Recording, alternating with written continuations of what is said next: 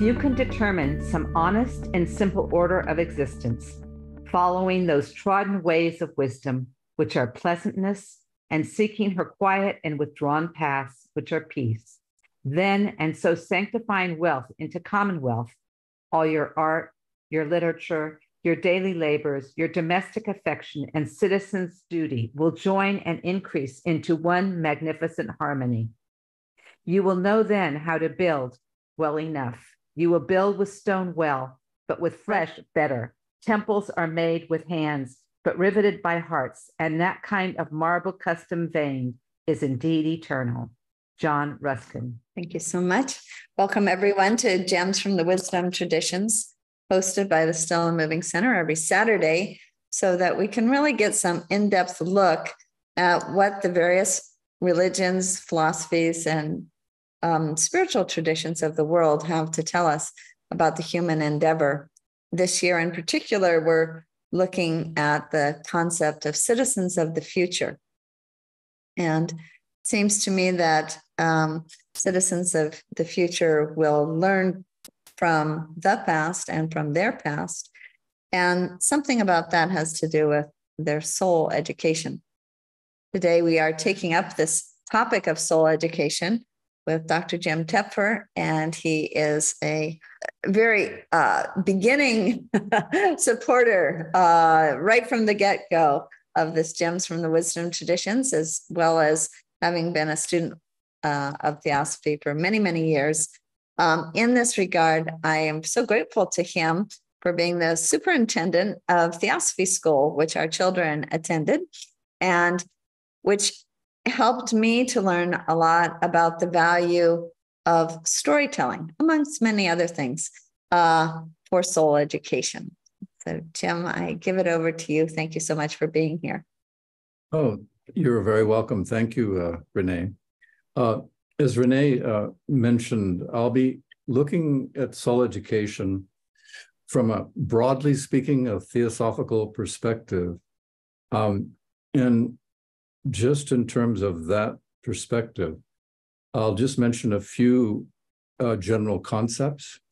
Um, principally, the theosophical or the wisdom teachings of theosophy point to the fact that the divine is within as well as without both man and nature, that every human soul is on a vast pilgrimage over vast eons of time to realize the fullness of the divinity.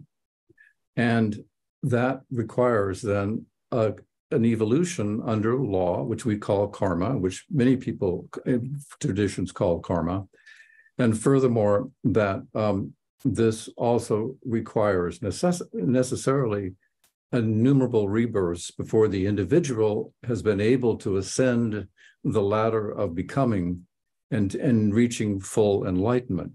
There are numerous individuals, uh, even some of whom we know in history, who've achieved this plateau of self illumination, of cosmic uh, fullness. And those, for example, in the East, we can refer to the divine Krishna, to the Buddha, to Shankaracharya. In the West, we can think of Pythagoras, Plato, the wonderful Plato. The heavenly Plato is one uh, uh, academic referred to him as the heavenly Plato, uh, the divine Plato, and then also to Christ. Uh, Christ is a remarkable individual, a luminous individual, full of light and loveness, of love, a bit of light and love and wisdom. Um, so these are just examples of the fact that this that individuals have achieved the fullness of soul education, but furthermore, they come into the world in order to make us aware that we have exactly the same potential uh, to realize the fullness of the divinity within us, which is also without us. Now, having said that, uh, what was I going to do? Because this is just a kind of umbrella perspective. I'm not going to go to any technical concepts in theosophy at all, uh, or only just very, very minimally. Um, but when Renee brought to me the question of, Jim, would you speak on soul education? My response inwardly was dual. It was, wow, what? uh, meaning it's thrilling, but on the other hand, what could it mean? Um, and so what I decided to do was kind of engage a little bit in what Emerson called man thinking. That is, I just made myself sit down and think in the simplest possible terms what soul education can be within a certain general spiritual framework um, and how it contrasts with modern education. Um, and so the more I thought about it and kind of sifted through things and simplified things and simplified things further, uh, the more I came up with a presentation which I think uh, made sense, that is, I understood it, and hopefully you'll understand it as well. And it doesn't matter because after 15 to 20 minutes, because I'm going to read what I have to say, what I thought out carefully, but then we can kind of form a, what I like to call an instant Sangha, an instant community, an instant academy, in which we ourselves engage in thinking out loud together. Because um, I like that, uh, that notion of thinking out loud together. So now you're going to hear me thinking out loud in solitude, uh, based on what my what occurred to me, a kind of line of thinking, a thread of thinking. And so, uh, for the next few minutes, I'm going to share that with you. Fiat Lux is imprinted on the seal of the University of California. It means, let there be light. Summoning that light is the overarching purpose of both spiritual and secular education. Education, then, is about the pursuit of truth. It is also about the transmission of discovered truth that we call knowledge from one generation to another. That knowledge is transmitted from teacher to student in a variety of modes. Modern secular education primarily transmits knowledge through intellectual means, through rational analysis, through logic, through controlled experimentation, and through the memorization of facts. Modern education is all about the mind. It is about intellectual development within the mind. It is not concerned with cultivating emotional maturity or distinguishing between wholesome and harmful desires, or about training the moral will to do what is right and good. Thus, we find that the modern education, edu- educated person is highly informed and skilled in reasoning within the compass of a specialized field of knowledge. However, the quality of his personhood, his character, and his ability to creatively contribute to the uplift of his communities is sadly lacking unless he has it innately. Is it any wonder then that we witness successive generations of brilliant, technologically savvy youths who are nonetheless culturally adrift, weak willed, and in search of a deeper purpose in life? One beyond mere success, social status, or the accumulation of wealth. Soul education, by contrast, plumbs the depth of fiat lux and claims that its real meaning is let there be wisdom. Wisdom is all inclusive and includes the profoundest possible insights into a right relationship with God, nature, and man. Like light, wisdom is not only illuminating, but warm, energizing, and compassionate. If this is true, then soul education is potentially far more existentially enriching and socially transformative than modern secular education can ever be. Wisdom is purest insight into the good in any and every situation. It is knowing what to say, when to say it, to whom to say it, and how to say it. Wisdom alchemizes and transforms every relationship. At its very core, soul education, like wisdom, is holistic. It involves enlightening the whole person. It involves uplifting the whole of society too. It leaves nothing out of its learning equation. If so, then soul education necessarily involves training and integrating the head, the heart, and the hand. It involves clarifying our thinking, awakening our intuitions, and harvesting the lessons embedded in our experiences. In a word, soul education shifts the focus as well as the locus of knowledge from the mind in an intellectual sense in isolation to the all inclusive soul. What does this mean? What is the soul? The soul is a metaphysical unit. It is, if you will, a ray of God's mind. As Ralph Waldo Emerson states, I am born into the great, the universal mind. As a ray of God's mind, the human soul is necessarily immortal, luminous, and self moving.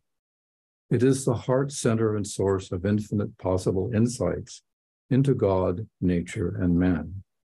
It is fundamentally a unifying influence. It is the source of man and nature of creativity, preservation, and self regeneration.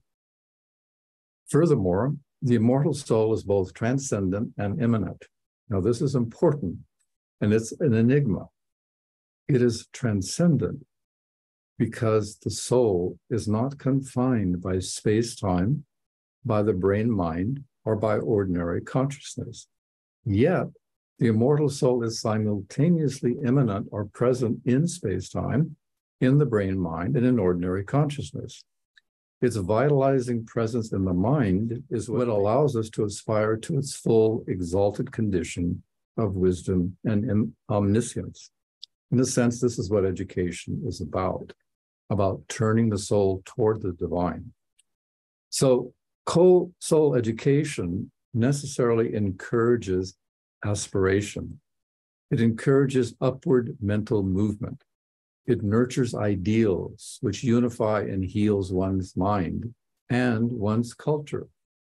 It is concerned with ascent in order to gain spiritual altitude and an encompassing perspective on life. Furthermore, soul learning is not limited to any particular stage of life. It includes our sunset years as well as the halcyon days of early childhood. It is not confined to a particular location, such as the classroom. Indeed, it can and does occur at home, at church, at work, at play, in the theater, and in all the informal social context of life. Furthermore, even at school, soul learning can take place not only in the classroom, but under the protective canopy of trees in sparse Zen like gardens or next to quietly flowing rivers. Finally, soul learning occurs in treasured moments of serene solitude when we meditate on universal ideas in silence. Soul education is thus the golden thread of lifelong learning and is multidimensional. From this perspective, society is a school for the practice of human virtues. Nature is a laboratory for the discovery of God's designing intelligence. And the Godhead itself is the highest object of meditation for the mind's transformation into an awareness of its own immortality and the reality of brotherhood. All three of these schools of life are in perpetual session. As the Chinese sage Lao Tzu taught, soul education is about subtraction as well as about addition. What does that mean? We begin in spiritual ignorance, but we can, through effort and building on our failures, end in realized wisdom. To realize our innate wisdom, we must first unlearn. We must consciously cure the mind of its maladies its misconceptions, its misperceptions, its romanticized illusions, its self destructive habits, and its false values. This cleaning up and clearing up of the mind through letting go of our attachments and prejudices creates mental spaces for the light of wisdom to illuminate. We might say that this purification of the mind, our unlearning, is painful but necessary for spiritual, intellectual, and moral growth to occur. You know, when you think of an example of someone who goes to learn something, if they really are serious about it and they go to someone who's very gifted and skilled in it, one of the first things they have to do is assess the student and see all the bad habits the student has, all the attitudinal problems that the student has, to see what it has to help the student unlearn, divest himself or herself of before they're really ready to do anything that's genuinely going to help them progress. We hear this a lot of in, in the wonderful Zen tales of, of, of Zen masters. When a student comes, the more promising the student looks, the more the Zen master is uh, uh, determined to make the student do anything but study the philosophy of Zen or, or understand the concepts of Zen. He makes them do all kind of work of various kinds until he's managed to work through his frustration and is humble enough now to really come, not with the idea that he's going to be brilliant and wise, but that he's actually going to be a learner. So unlearning is critical to the idea of being able to make the mind really receptive to the light of the soul. So learning recognizes that to the budding mind of the child, the world has just begun. The universe has just been freshly created the young learner. Everything is virginal, touched with originality, and all intellectual discovery is an epiphany. Likewise, to the genuine adult seeker, the world of knowledge is forever new. It is never settled.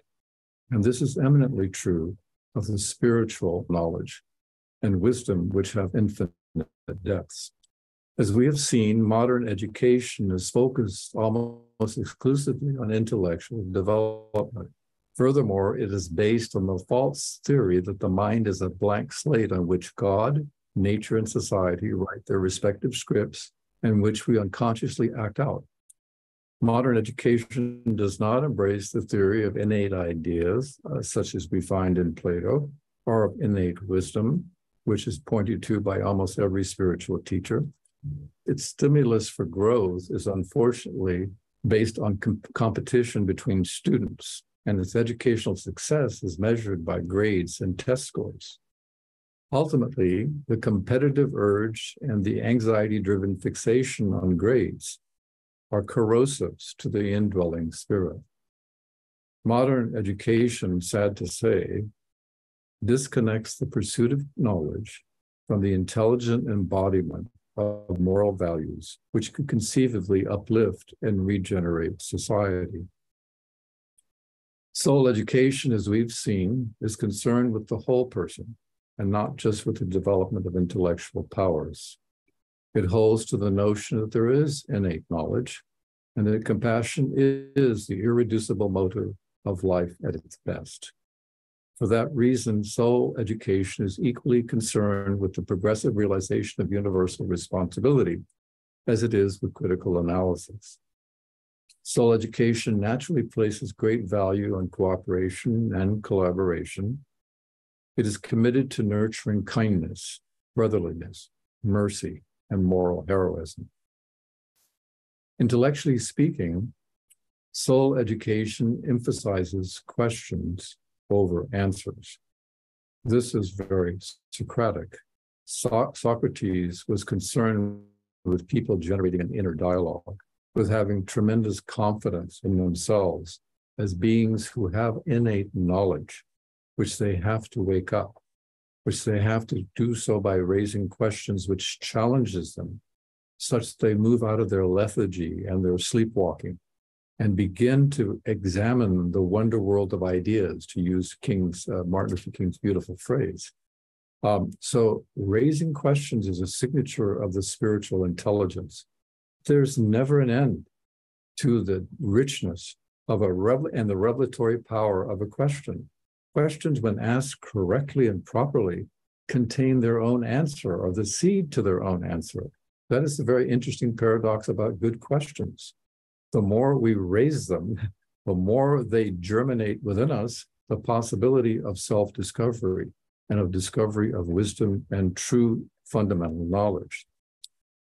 Soul education emphasizes critical thinking over mere memorization. How sad that children have to go through this and can't aren't allowed to think uh, at all until you get to college, if lucky, or if you're fortunate and have some good high school teachers, you might. Soul education cultivates imagination as well as reason. How fortunate those children who get exposed to teachers in the third, fourth, and fifth grade who are not compelled to meet to get them involved in mechanical education and hold before their mind's eye and their soul the notion of great achievements by remarkable people of all cultures or great mythic heroes who appeal to the virginal imagination, which is supple and also expansive and awakens and resonates to the heart of a child or a young person who loves heroism, who loves the good, the true, and the beautiful, if they ever had a chance to express it, to celebrate it, to hear about it, to have it emphasized.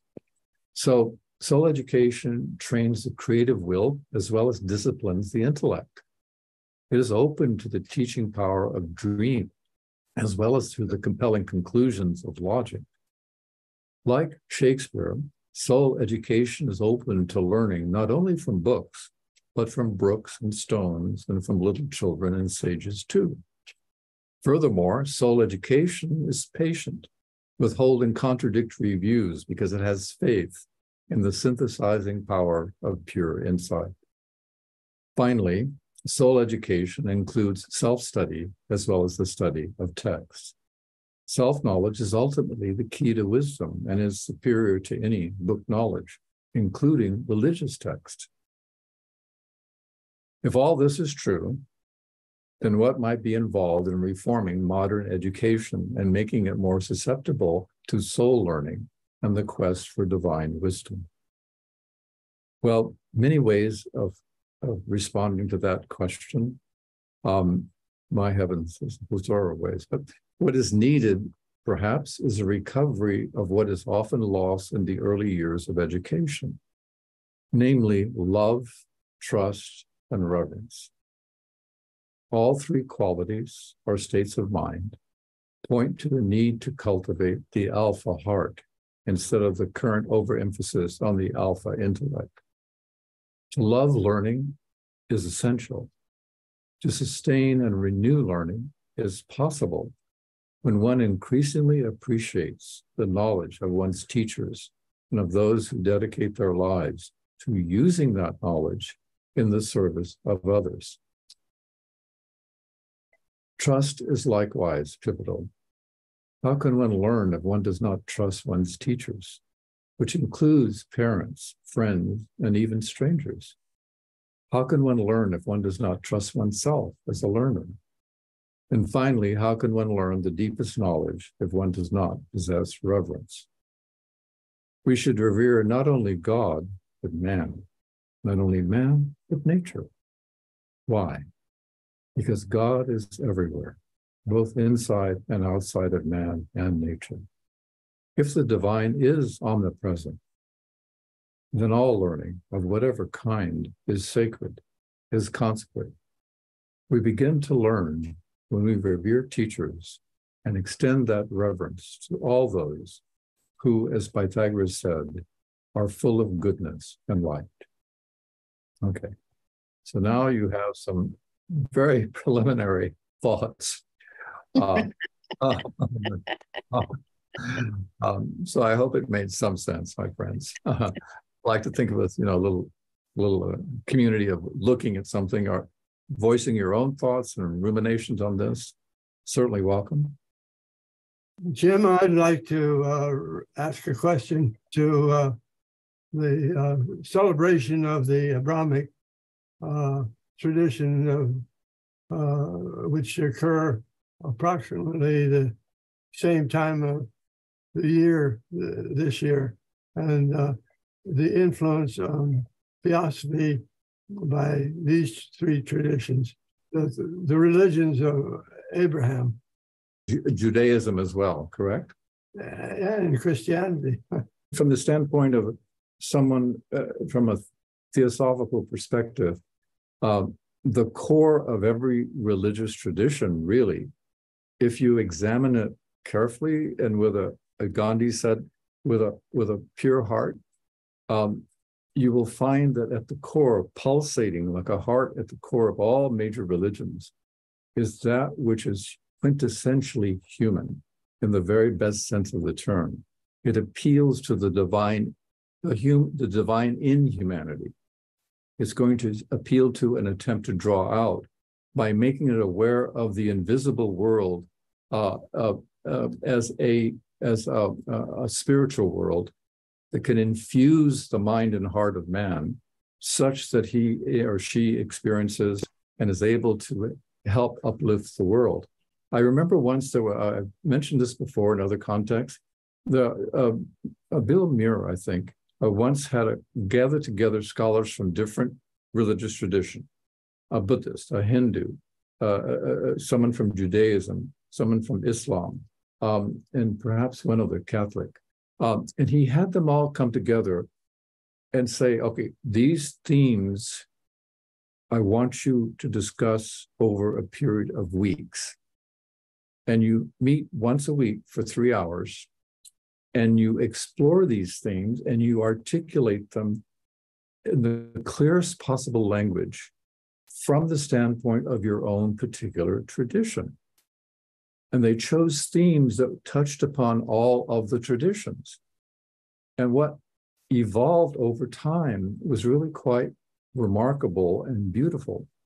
Because as time went by and they be, heard someone articulate a particular way of looking at a theme, and then heard the other traditions reporting on that, they both found common ground and they also found things that were very beautiful. That they said, well, we that's not the way we express it, but if someone were to express that interpretation, I would welcome it. It's something we ought to include in our religion as, as, as people who think about things, who people who understand and explore the concepts of religion. So what they found by the end of like seven weeks uh, when a theme was being discussed, someone would say, Now, I know from your tradition, you approach it this way. And that's very, very interesting. And from your tradition, I understand you approach it this way because it took time to start studying each other's traditions, is what happened. They became so interested in what each other were saying that in time they began to educate themselves on the other traditions.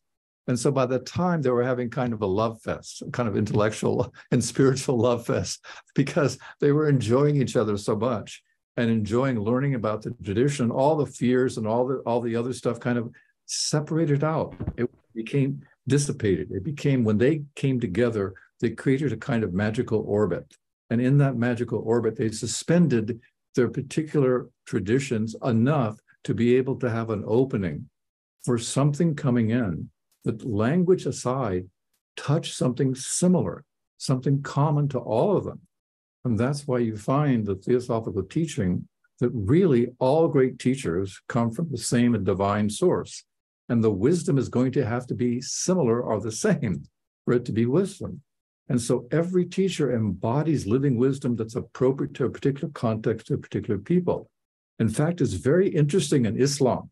In Islam, one of the points is look, God has sent messengers to the world for a long, long time. It's just that Muhammad is the last and the greatest of the prophets. That's the problem from another point of view. But what they're saying is look, if you were a Buddhist and you are true to Buddhism, that's perfectly fine. Allah will still welcome you into the heavens because that was your teacher at that time. So there's more universality in the depths of Islam than is often recognized. So if, if you're a Sufi mystic in particular, you're open to all kinds of teachings. Um, and that's one of the great traditions of the Sufi mystics in Islam. Um, and it tends to bridge other traditions as well. Anyway, those are some thoughts. Well, thoughts on it. May I ask a question, uh, Jim? Yeah, sure. Thank you. Actually, I have I have two questions. The first one is, what was the quote that you said at the end? The only quote I used in the in the short presentation was actually from Emerson, uh, from his essay on the Oversoul, which is quite remarkable. Uh, it is so it's so wisdom oriented. It's so wisdom religion oriented. It's just it's just it's elastic. Uh, it, it's it's uh, it's supple and it's so much the mind being absorbed in the divine that's what he says about entering into to to to, to the universal into the, to the universal mind um, that um, so it's from he says i the imperfect worship my my my perfect, the oversoul. Um, and he mm-hmm. says you come into your fullness when you do this. There's it was an interesting physicist. Um, he was in mathematics originally, and his mathematics was so powerful and so original that he realized only three people in the whole globe understood what he was saying. So he went from went from went from mathematics to physics. Um, but at any rate, one of the things he concluded in his life as a physicist, he said, "There's got to be a cosmic mind, and then there's the human there's the human mind intelligence, and then there's atomic intelligence." And he got that out of just studying quantum physics and physics in general.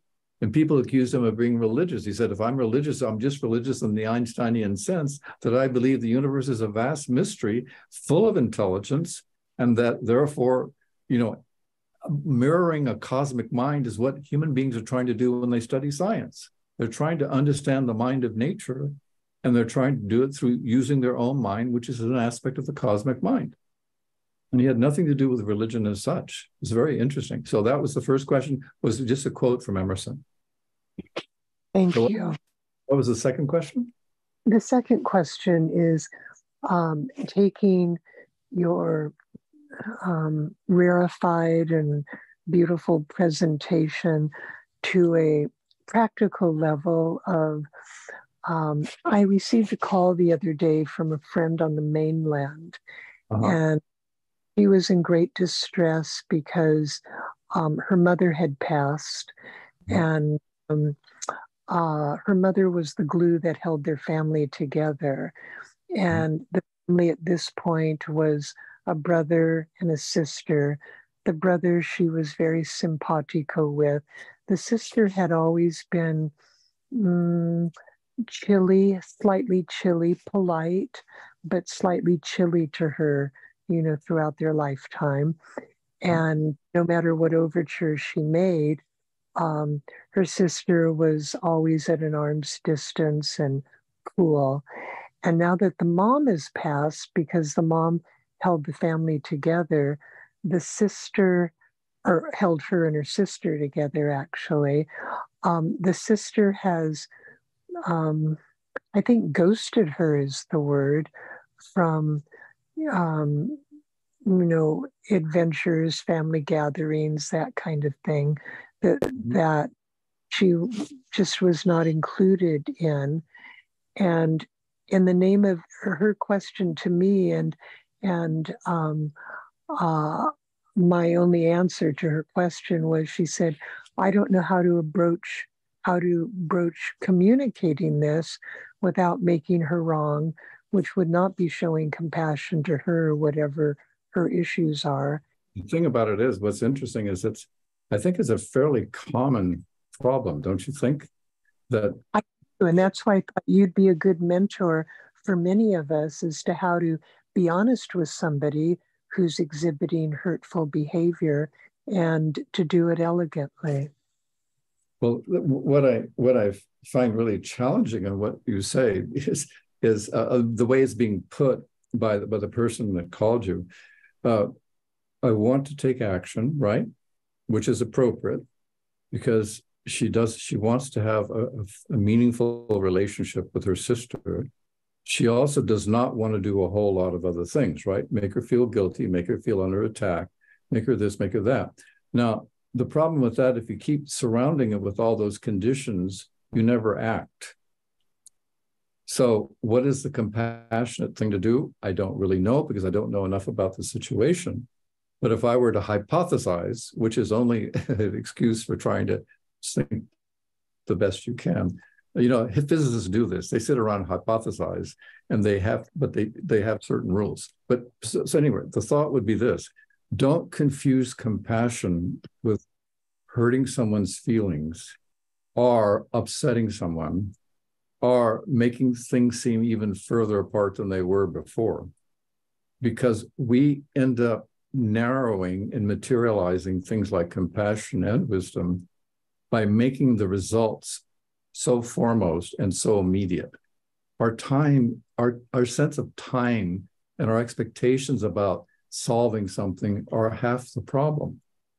If it seems that the only way to really make any headway is to speak with her frankly, her sister frankly, and in such a way that you invite her to respond, but tell her truthfully the problem you see.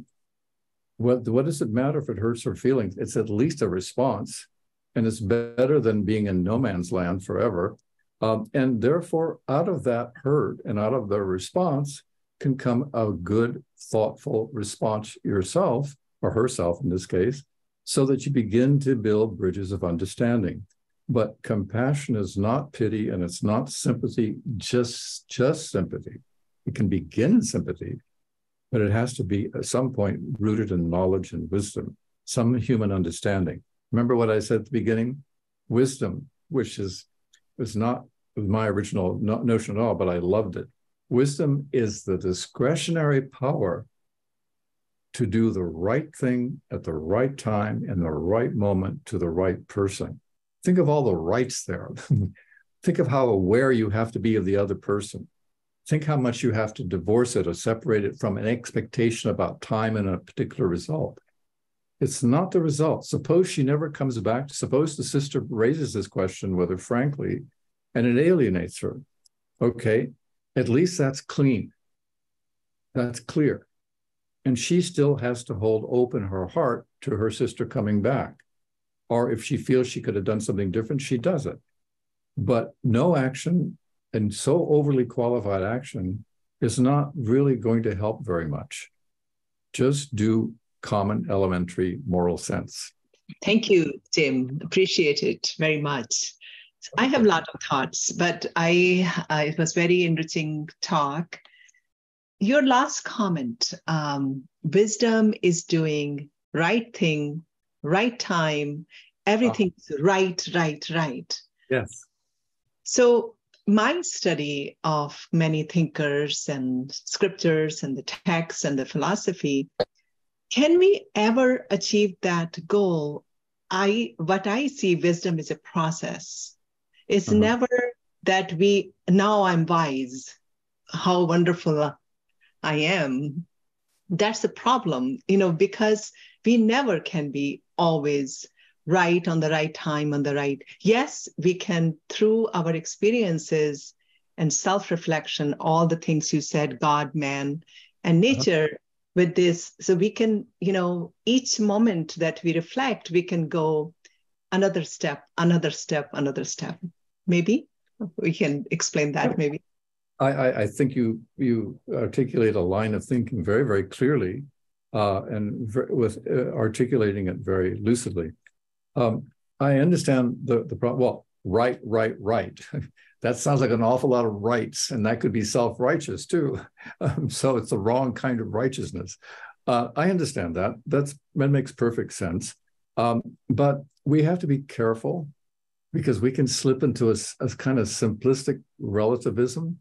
Oh, no one's ever right. That's not true. That's not quite right to say it paradoxically. In mathematics, we have the right answer. There's no wrong answer in mathematics. Um, uh, so that is that's a kind of the the rules of it are such that it makes it clear what is right. When we come to human situations, we need simple rules and simple principles, really, as a beginning to awaken the intuition, which is the wisdom to see things in their essence, to see things as they really are, and to have a sense of when is the appropriate time to mention something. Uh, let me, let me, I mean, it's like this. Um, the person who has, who has, who's less in a rush to solve a problem, less in a rush to give an answer, uh, has a better sense of timing and a better sense of what would be the most appropriate thing to say or not to say. Take, suppose a young woman goes to her aunt. She's got a problem with a, with a boyfriend. She doesn't want to bring it up to her parents because they'll get all over her about having a boyfriend to begin with, or what's the nature of the relationship and so forth. So it's too sensitive. So she goes to her revered aunt. And she, uh, the revered aunt said, No, no, querida, tell me your problem. What's your problem? You know, feel free, feel free. She knows her aunt is kind and non judgmental. And so she trusts her and she tells her what the problem is. And of course, she doesn't really at the beginning, but the aunt's perceptive.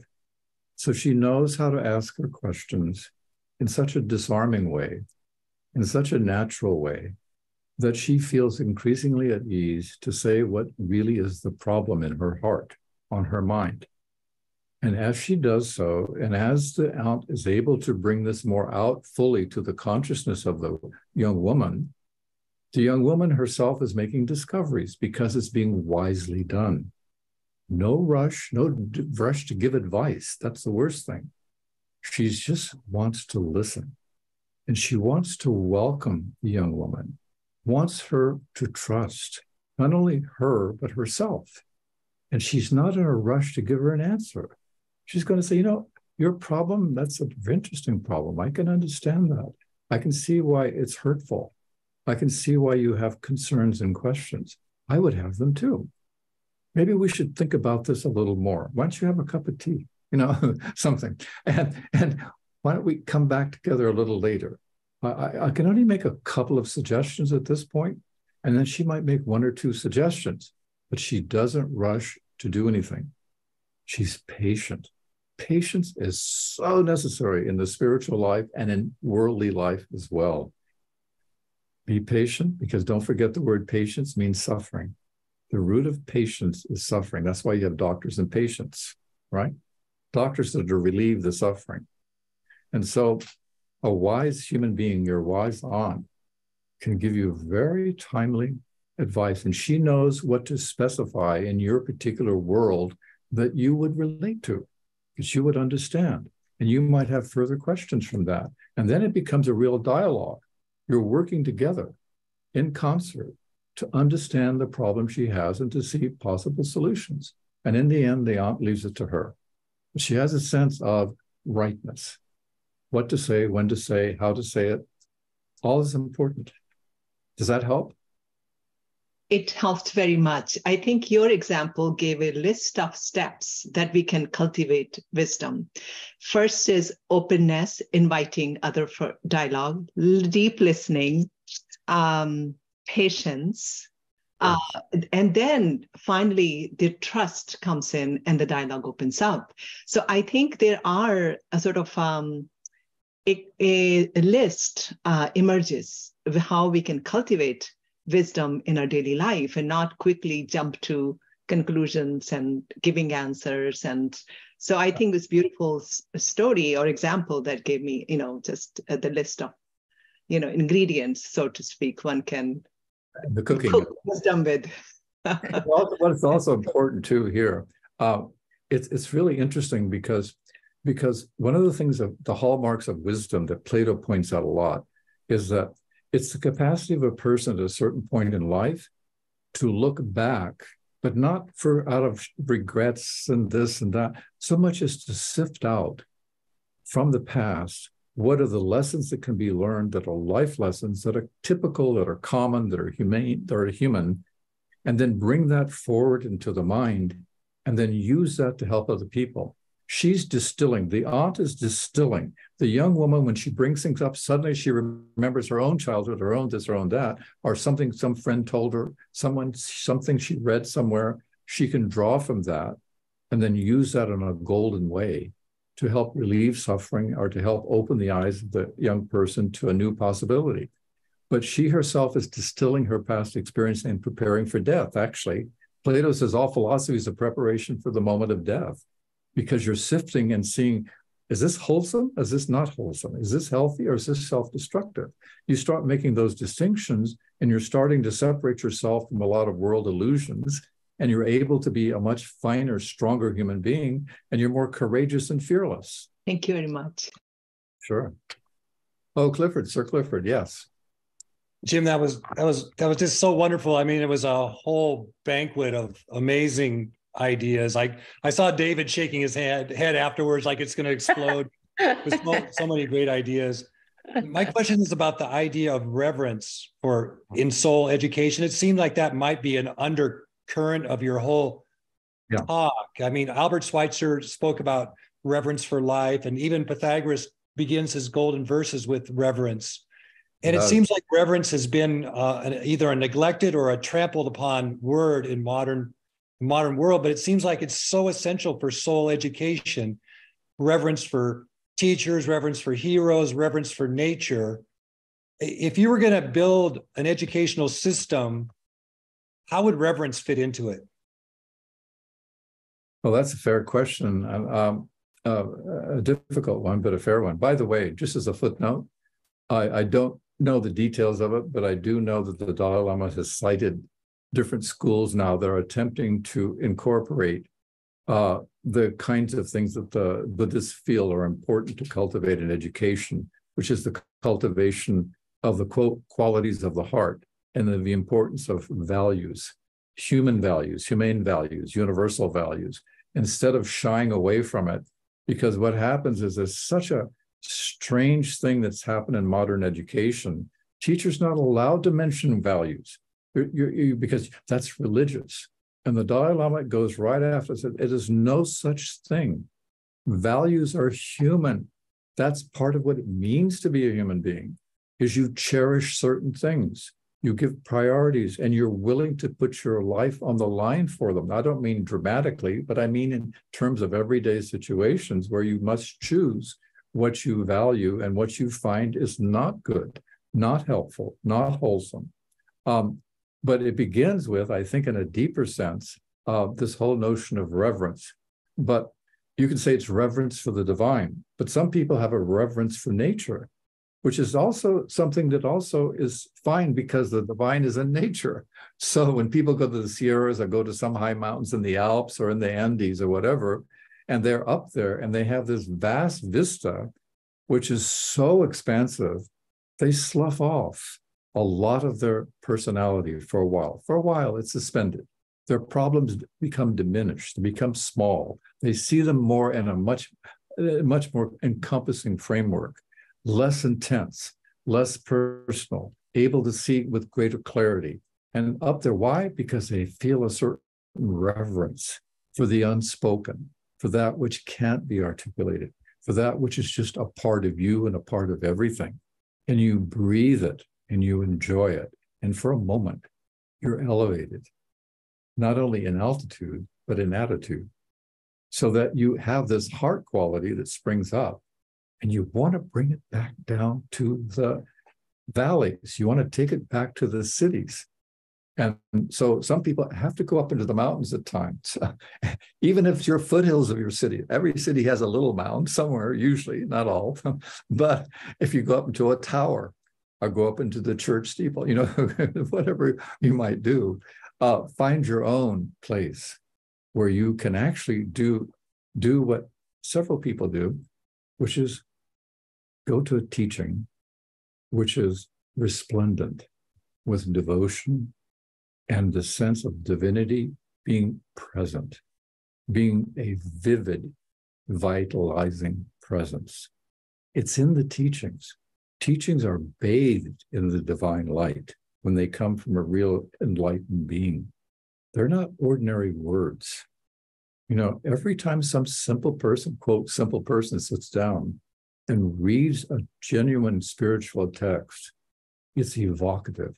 It brings out the golden idea of reverence, of high regard, of love, admiration, and just it's a it's a way of nourishing the soul it brings out the finer qualities in a person, it cleanses the person. So, a person who's full of reverence, it multiplies and it has a multiplying factor in it. Because when you start reverence, whether it's nature or God or heaven forbid, man, think about revering man. Look at all the finest examples of human achievement, which is not technological and not success and not money, but human qualities of justice, of courage, of acting on behalf of the benefit of people, even though you know you yourself are never going to benefit. Think of all the great heroes and heroines of time. They're worthy of admiration. And when you admire them, it releases some reverence. You're just so grateful to know, as uh, uh, uh Sri Raghavan Iyer used to mention. You know, there's a poet who said, when you celebrate greatness passing by, you yourself become great. It's it's seeing golden qualities in humanity, which goes against the current of public media, which goes against social media usually, which goes against a lot of things. But we have to hold out for that because that's what it's trying to kill out, is that notion in the heart that there is something worthy of tremendous devotion and respect, prostration, prostration before the divine. And you're right about, about Pythagoras too. And also don't forget Einstein was talking about his reverence for the mystery of nature was really powerful in him. Uh, very powerful. He said, when he had a debate with someone about religion who was a religious person, when he left, he said, Well, it was an interesting conversation I had with this person, but frankly, I'm more religious than he is because I have an awe before the divine in nature. And as far as I'm concerned, we're like little children in a big library. And every now and then we pick out one book. But the intelligence of everything is vast. But you know, if in terms of practical suggestions, Cliff, if we could ever have, I went to a class once with one of my children was in it. this is when they were in the third grade, fourth grade. I walked into the room. I could not believe what I saw. It was so uplifting. She had quotes on the board from Shelley, from Keats, from Socrates, um, from some other tradition. I don't remember what it was now. And she was talking and she talked about the qualities of these people and why they were to be admired. She wanted the children in a culture which doesn't have myths and doesn't have uh, uh, fables and, and, and the kinds of things you had in classical times and still have in India. Uh, they didn't have that. So she wanted to nourish the mind with things that were positive because the children would go home to broken families. She wanted something to heal, something for them to feel connected with something, because our culture emphasizes separation, competition, and disconnection. And therefore, how can you feel reverence when you feel so isolated and lonely? And as one doctor said, I'm more concerned about the growth of, of depression than I am about any other medical issue because it becomes the basis for so many other psycho, so many uh, not only psychological problems but physical problems. But when you have someone who idolizes, you know, like we used to idolize the founding fathers, right? Now the realistic historians go and say, yeah, but you didn't know they had this problem, that limitation, this problem, that limitation. Pretty soon, what is there to admire? The fact that someone has a problem or had a limitation or had a prejudice doesn't mean you rule out the whole person. It could be something golden and good in that person. The fact that they had a limitation isn't the problem. If that's all you focus on, how can you respect or revere anything in yourself? Jim, could you just briefly, we're three minutes to the top of the hour, and I know that you need to leave right at four. Yeah. Um, could you say um, something either about stories or about suffering? Either one in regard to soul education. Well, I think you you hit something that's dear to my heart. I think I was just alluded to it just then about fables and and stories. I think um, stories are vital to a child because a child is naturally trusting, and a child loves. I mean, it's you don't have to convince a child to love a story about heroic, about the heroic about courage, about love conquering, conquering, you know, hate, about truth conquering, you know, justice conquering injustice. That, that's that can speak to a child more than conceptual analysis. We do a lot of conceptual analysis, and that's fine. That's good. It has its place. But we don't really celebrate people for their greatness in education. We don't put them out unless we have some particular reason. I remember I was at a conference once, and uh, uh, there were there were some chemistry professors going on about woe is me, I, they, this kind of thing. You know, what's what are you commit? What, what are you miserable about? I asked. They said, well, because we have to take all these students in general chemistry who have no desire whatsoever to go into chemistry, but if they're in the general sciences, they have to take us. And so that keeps us from the real students. I said, I see your problem. I said, let me ask you a question. Did you ever spend five minutes talking about the great achievements in science and what people had to suffer for them to achieve them? Have you ever heard of the people who, the Curies, and what they did in order to discover radium? Have you ever heard of the people who sweat tears, um, who were who were crucified for following science? Or take something from religion, people who are moderate in religion, who were very noble. They're doing. Is there any difference between someone who's trying to master something and, and suffers for it, or and someone who's in religion and suffers for it? Why? I said, why not talk about the frontiers of science? You might think it's irrelevant to them, but if you told them your vision of what science could do, what chemistry might be able to do, you might inspire some people to go into chemistry. But as it is, you have such a dour attitude. How can you possibly expect the students to be anything but what you're telling them, what you think they're going to be? It's a self fulfilling prophecy why don't you hold before them stories about great actors and actresses on the stage of science and make parallels with the stage of politics and the stage of religion? These are things that speak to everyone at some level, even students coming in who are freshman students, even, even children. Well, of course, children it does. But it's the lack of holding up before, before the youth and the young of heart and the young of mind the, the visions or portraits of people who have done extraordinary things in any given field would be welcome in any class. So, David. Yes, you blow my mind again. And it's been uh, three years and 11 days since you were with us last. I feel so blessed to have had this time with you today.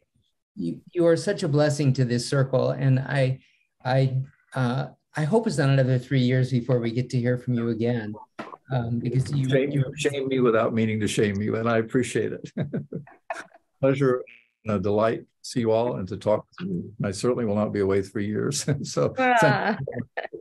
thank you. Thank you so much. Mahalo nui loa, Jim. oh, Mary. Bye bye.